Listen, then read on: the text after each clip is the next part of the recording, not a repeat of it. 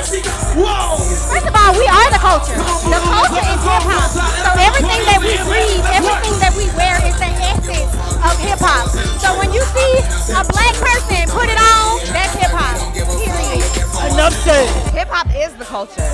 You know, in terms of black people being able to create wealth, it was really like a dynamic opening for us to be able to express ourselves, tell our truth, and create for ourselves and our families.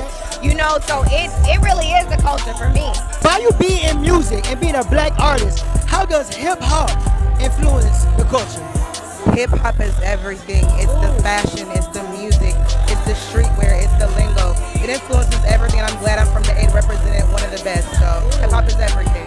Shit, man. Hip hop is really sets the tone for everything we do. I'm honored that it's even 50 years. I'm like, wow, that's a long time for a genre that they said wouldn't last. The food, the music, everything, the hair, the styles, the, the everything is just blackness. and It is just greatness. Hip hop is literally woven into everything we do, from the slang that we use to the way that we style our clothes to the way that we impact change. I mean, it's politics,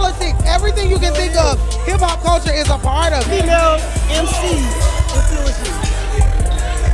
You know what? And I shouldn't be, shouldn't have been singing her music, but MC Lyte. Hey.